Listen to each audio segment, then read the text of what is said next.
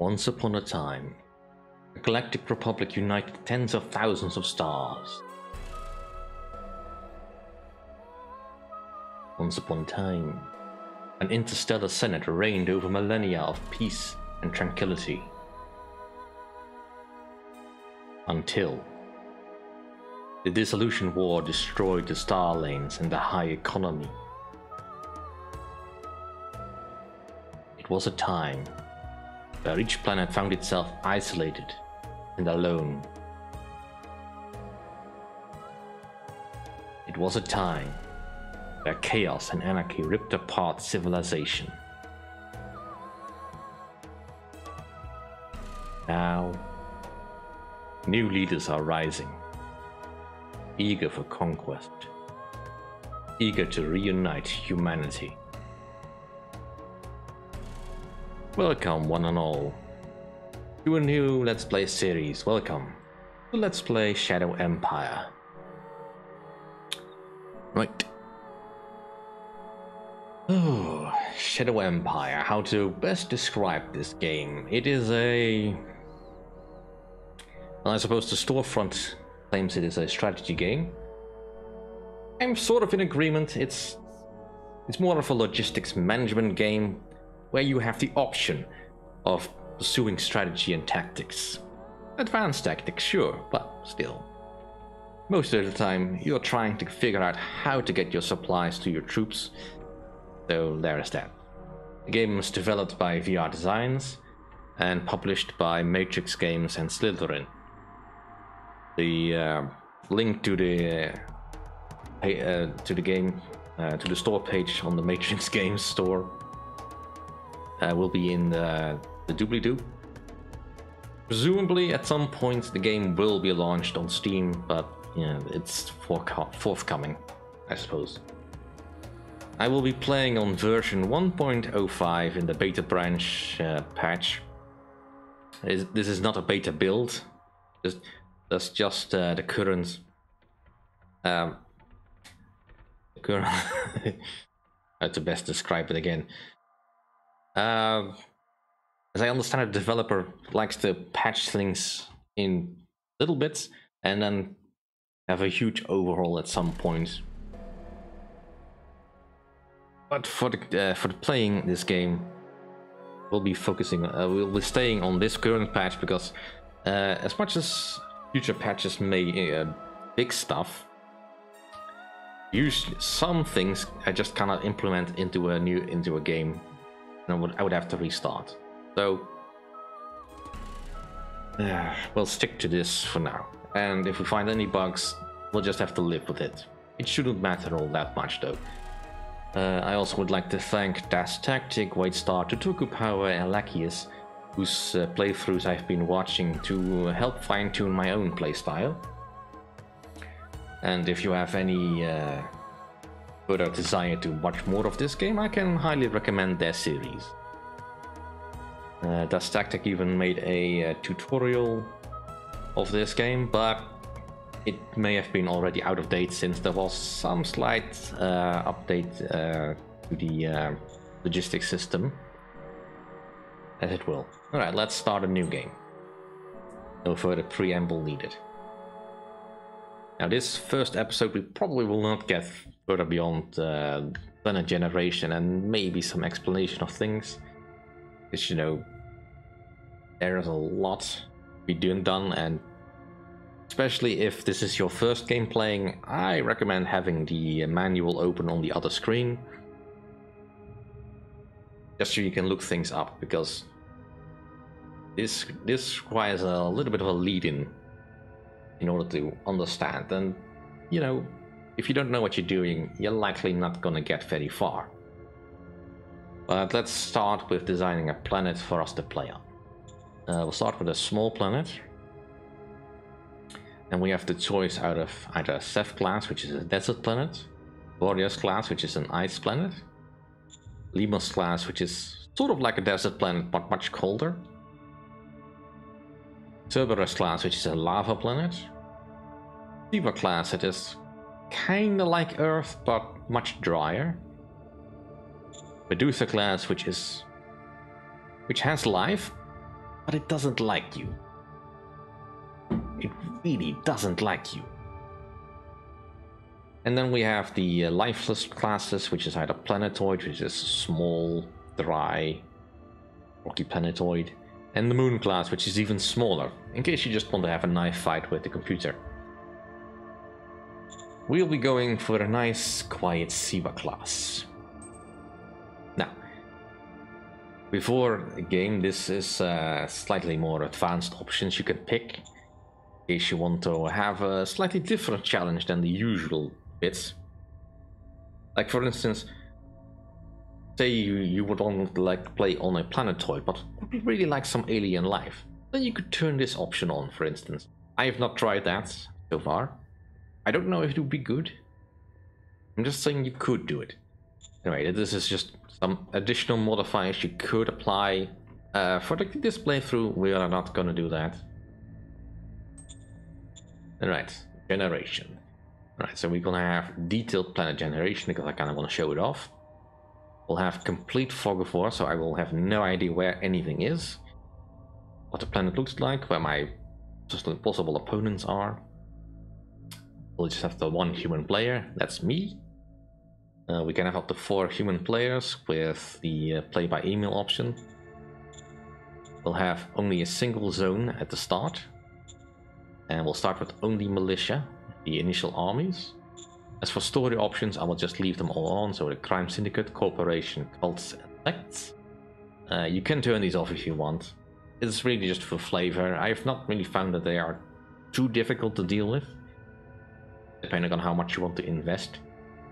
Technology level, uh, we'll start with the bottom level, but basically if you give uh, like higher techs, essentially start with slightly better factories and slightly higher tech enabled, which can make the game faster, but it can also make things tricky because you will need more resources that you might not initially have, depending again on how many zones you have how many armors you have. Uh, we'll start with normal development speed and only the Supreme Command Council because you need you can start with all eight councils available but I kind of want to pick which ones I have and who is in charge of them. And we'll be starting on regular difficulty because that's probably difficult enough. Especially if if, if it is your first game I really recommend either beginner difficulty because uh, yeah you can just run into some really bad situations if you do not. Continue on. Right, so planetology, we are in an eccentric and slow orbit around a bright yellow G0 star. At least I think that's a zero. Probably a zero. We have a gravity of a half Earth, I guess.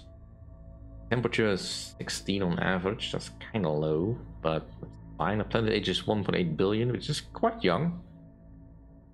Um, map size, I cannot, I cannot really tell if this is small. It's average, as far as I can tell. Quite a heavy tilt. We'll have some extreme season.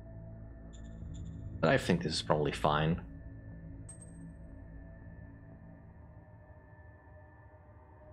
Moving on to geology. Alright, so let's see. We have lots of seasons. Right, so uh, every time we uh, click the end turn button, we'll essentially move on to the next season. Uh, there's lots of seasons here, so we'll have to work around some of this. Mm, looks like the Antarctic is the coldest. The summer. Yeah, it's actually perfectly flipped. But yeah, the poles can get quite cold, whereas the tropics can get quite warm. But overall it looks like a fairly nice planet. Uh, the highest mountain goes quite high, and the deepest seafloor is actually relatively deep. Planet is still geologically active, which means there's a chance of volcanoes and all that. Rainfall is a bit meh, but that should be fine. Wind speed of 1 meters per second is probably fine. Yeah, I'll accept this. Biosphere, alright. What kind of plant life can we have? And... Mm, Right, let's re-roll. Let's see, see if we can get something slightly interesting. You're not too worried about uh, the heavy amounts of uh, argon. Pressure is a little low. Uh, let's try again. Something slightly more interesting. Come on. Right, so quite a bit of uh, nitrogen, a lot of oxygen, way too much oxygen, argon and carbon dioxide. You have the supernit squid, which is an aquatic carnivore. Oxygen breathing, yep, that's fine. No real hazard, so we can probably do some farming. No alien tissue nutrition. Crops and bush, that's fine. That's fine. Because of course, I don't know exactly how the planet will look the moment we start the game. Because this is only once the wild planet is created. After the humans have settled on it, it may look a little bit different. Alright, so colonization with 72.7 million people uh, that year. It's received colonists for quite a few years, which is actually kind of low then but mostly agriculture, some mining, some a great deal of services. 15 zones have been populated. We can see the history of the planet. The one that's mostly fluff, but it can sort of explain how certain things appear on the planet once we get to it. And then we get to Apocalypse. The Dissolution War reached Vorisria Oriana in the year 7988. War consumed all, technology fell to barbaric levels in over a century of warfare and collapse. They were down to 1.2 million people, well 1.3 million really. Um, with some scavengers, some raiders, mostly farmers. And we can see things happened. Overall, Ooh. These went to town. Alright, well, that's fine. Uh, I'll accept this outcome. Alright, so now we have a slight overview of what the planet will look like for us. Alright, we are divided over three major regimes and 27 minor regimes, so we'll have lots of activity to do. Let's start the game. Right. Let's change our regime to Leotopia. With our leader name will be Wise One. And let's change our primary color to yellow and Nah, that's too dark. Um,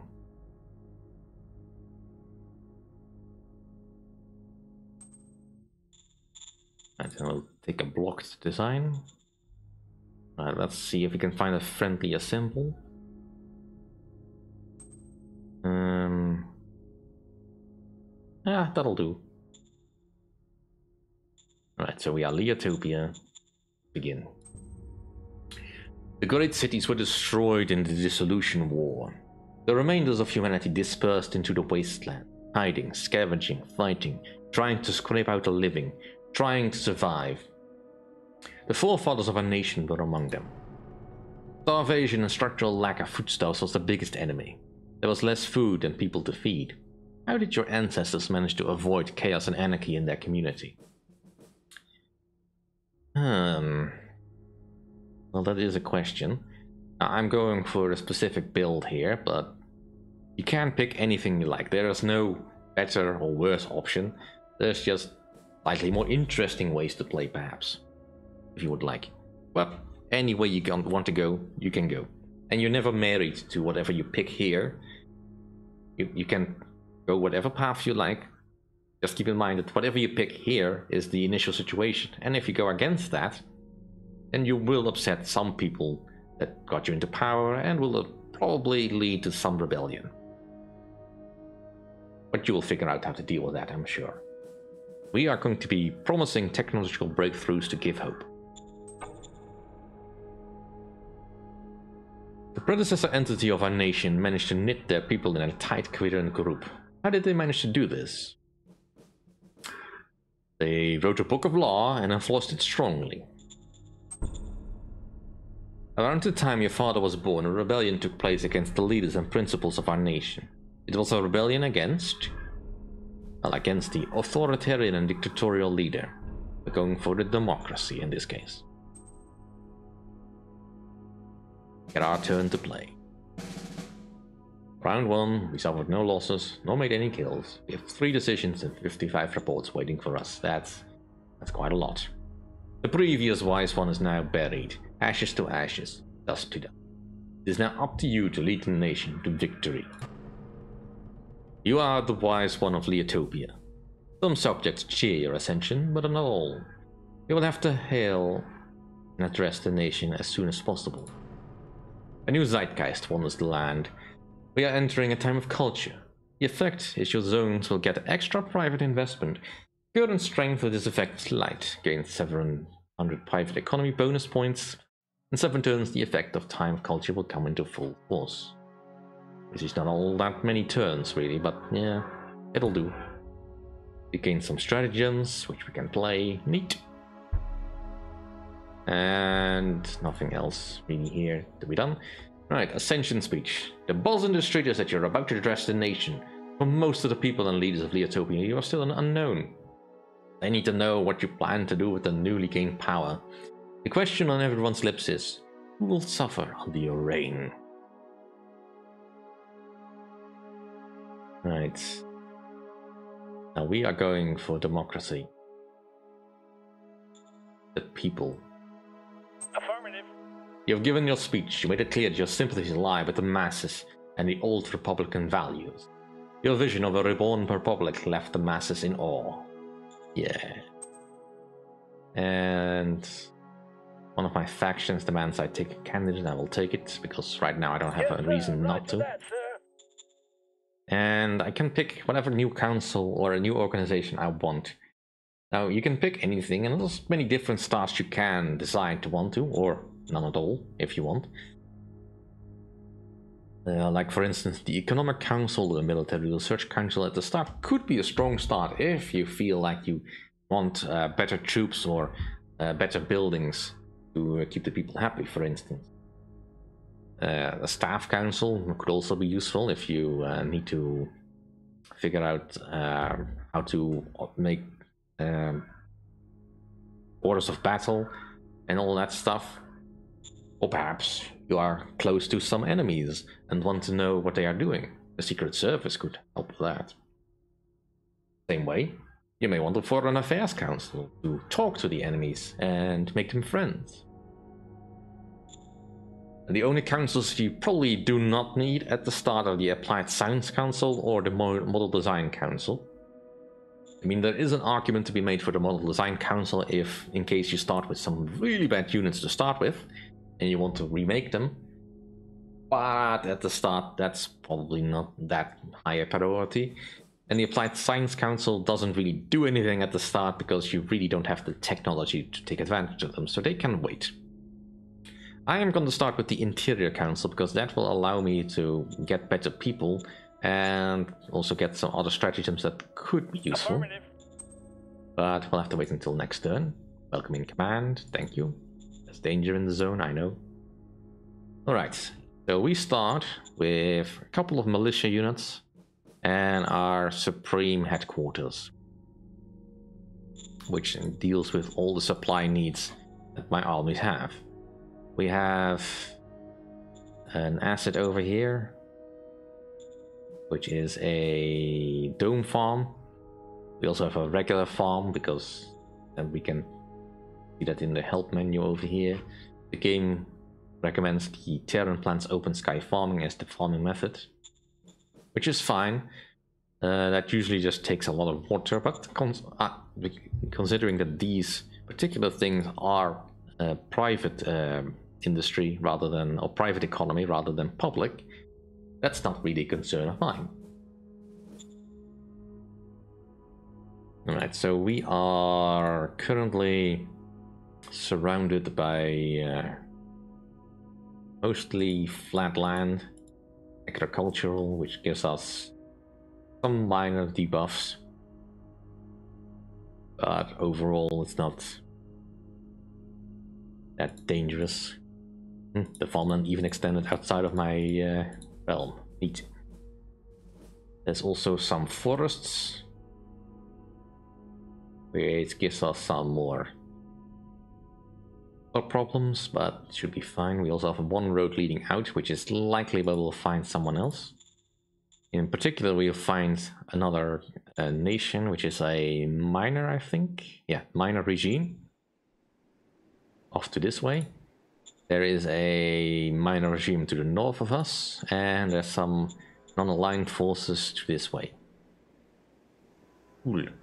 Alright, let's start with the basics. How long do we have? 10 minutes. Alright, so for the purposes of this Let's Play, I'm gonna extend the episodes to 30 minutes because we have a lot of ground to cover and some turns can go really slowly. My apologies, but yeah, that's just the way it is. Alright, let's start with the basic resources at our command. Food, water, fuel, ammunition, metals, industrial points, energy, uh, radioactives, recruits, colonists, rare metals, machines, and high-tech parts. All of these are something you will need at some point or another. Some are quite obvious because everyone needs food, everyone needs to eat. This in particular is food that you produce for the state. So basically what you use to feed your troops. It can also be used to feed your towns, but ideally you want the towns to be self-sufficient in that regard. You may not always be able to do that, in which case you may need to give some of your food to them. Water is something you can either mine from ice mines like uh, this over here, or in this case we probably have rainfall that we collect. Uh, that's partially why I wanted a Siwa class planet because kind of nice. Now we are somewhere in the middle of the map, I think. Based on the temperature here, we are probably somewhat equatorial so we should have decent enough yields for our farms. And at the moment we have positive food, which is nice, but that's food that we're getting from our uh, private farm, which is, you know, fine, but it's not ideal. Uh, fuel is basically what we need to move things around, like for instance the transport you see over here.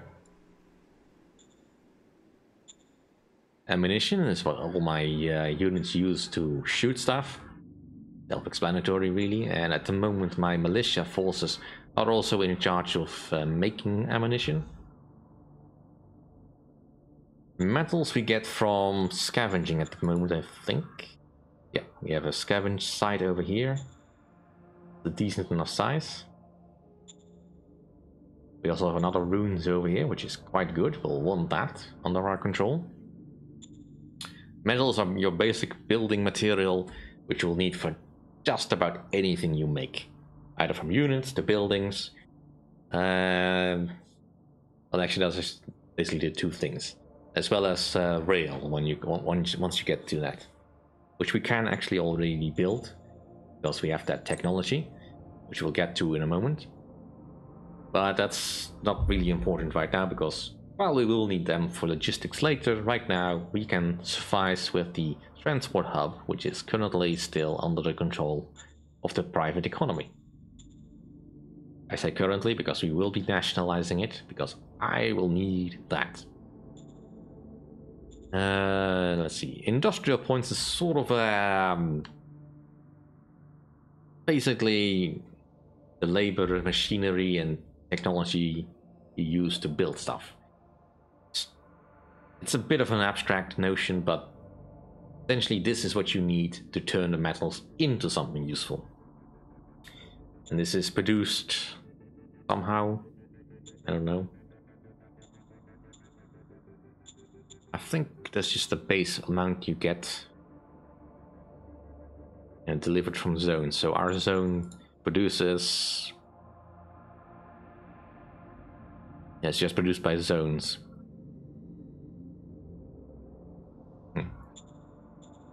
To do with the service tax. Well, I, that's that's an aspect I've not really figured out, but regardless, we'll be improving on that later. Then there's the power, the energy. This is uh, you. Most of your buildings require energy to function, and later on you also get laser and plasma weaponry, which will also require power. Radioactives is a way to use uh, is a way to make weapons and power as well. Later on, but right now it's not important, as we have no mines where we can get them and we need to find them. Recruits, basically, yeah, people you recruit on the population that will become your soldiers. You will need to feed them, so make sure that this number doesn't get too big or too small. Colonists, essentially, once a if you uh, get a lot, large bits of land under your control, you may want to establish a new city there in order to uh, administer that new piece of land, because eventually the territory will just become too big for any one zone to handle, and which causes administrative, stra administ administrative strain, which causes the effectiveness of all the things in that zone to go down, and it can go down quite drastically if you don't pay attention to it. Not to mention, it will make your governance upset. Rare metals are something you need for more advanced technologies, and at the moment we don't really need them, but they could be useful at the moment if we want money, because they are quite valuable as they are rare. Machinery is something we again need for slightly more advanced tech, and also for the creation of certain buildings. But at the moment we are probably fine without mostly. I mean, we can make some ourselves, I think. No, not yet, because we need we need a factory for that, or industry for that. That's fine though. And high-tech parts. This is when you get really in the advanced tech stuff. But right now we are not there yet. Now, here's the brief overview of all the profiles. You can mouse over these to see what you will get for uh, getting it up to a certain level. Now, for the purposes of this playthrough, I want to stick as much as possible to the things I picked at the start. This will not be totally easy because occasionally you will have to pick something that you don't want for political reasons or because the option just isn't available to, to pick anything else. It's important to figure out how these things interplay. For instance, if I raise my democracy, it will lower the amount of uh, autocracy I have, or it suppresses the amount of autocracy I have. In turn, autocracy suppresses meritocracy, and meritocracy suppresses democracy. Now, this does not mean, however, that if my uh, democracy is high, that I can't just immediately jump into uh, autocracy, because if I just raise this number above democracy, it will become the dominant one, and I will have to work hard to press it back down again for more uh, serious effects for this, I will uh, have a look at the profiles later, but for now, uh, this gives us a basic uh, amount of uh, idea of how supportive the militia is. Right now, we need the militia to be on our side because they're basically all the troops we have. And this is basically how much the cults like us. Currently, we have the Church of Syndic active in our area, which is fine. Our zone also has a slight bit of danger, but that's not too unexpected. And the militia is fully in, uh, fully ready to go, and already working on uh, mobilizing a new battalion once they have it. Although they don't currently have the manpower for it. That's fine though. Right, let's see. Our main zone is gold. That's fine. I'll I'll keep the names the same, it doesn't matter all that much. Alright, where are we? One and a half minutes. We have not yet moved. Let's move a little bit. At the very least. Move our minutes along. Right, here we have Toulouse. But I don't know what kind of faction they are, so I don't want to piss them off all that much. Let's see what stratagems I have that maybe can help. I'd say we got some nation strategies that I don't really want to use because I don't have much political power just yet. Oh, I should probably go over this for a moment. In order to affect some difficult things like using strat cards, although you'll need political points for just about anything from raising troops to certain decisions. Political power, uh, political points rather generated by the uh, by the Supreme Command Council. As we can see here, they create political power. Used for basically everything. So you kind of want to build as much of this stuff as you can per turn. We also have fate points. Fate points are slightly nebulous as a concept, but basically they allow you to do extraordinary things